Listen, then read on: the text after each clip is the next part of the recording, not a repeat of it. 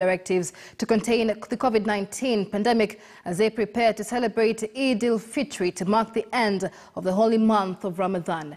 The Supreme Council of Muslims SUPKEM chairman has urged Muslims to pray at home and avoid crowding, saying coronavirus is real. This Ramadan is a special Ramadan. And already our children have learned the hard way that there is a likelihood that they may enjoy the festivities they used to enjoy over the years. It is also this Ramadan, this Eid al-Fitr is also is coming at that time when three areas, when the three, two key areas actually of Muslim population, uh, that is Eastleigh and the Old Town, are not allowed to get out of the places where they live in. And that one makes it more uh, extraordinary, unique in that situation.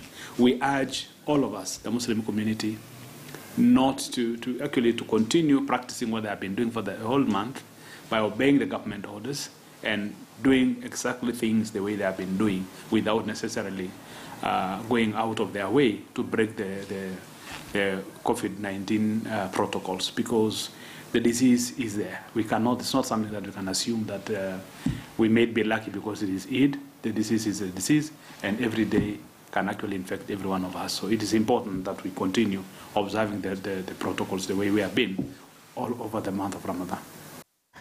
Muslims world over are supposed to celebrate Eid al-Fitr either tomorrow or Sunday, depending on the sighting of the moon.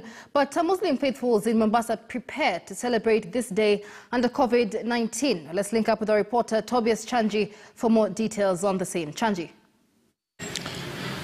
Well, it is expected that the new moon might be sighted either tomorrow or Sunday. And if it is so, uh, then it means that it's less than 48 hours uh, for the Muslim faithful to celebrate their Eid al-Fitr. Uh, remember that uh, Mombasa has also been affected greatly uh, by the infections of the COVID-19 virus, whereby more than 350 people have been infected. And we also some, have some regions like the Old Town uh, that are under cessation and have been locked down they'll be under lockdown until uh, the 6th of June. We therefore just want to speak to uh, some of the leadership of the Muslim faithful. These are clerics. Uh, that, that is the Secretary uh, Council of Imams and Preachers of Kenya, CIPK, uh, Secretary Mohammed Khalifa. Uh, maybe to just paint for us a picture uh, because this is not the way they're used to celebrating other years uh, during the holy month of Ramadan. Karibu katika mahojiano yetu kwa moja kwa moja, labda tuelezee kufikia sasa siku ya Idi ni kesho ama Jumapili?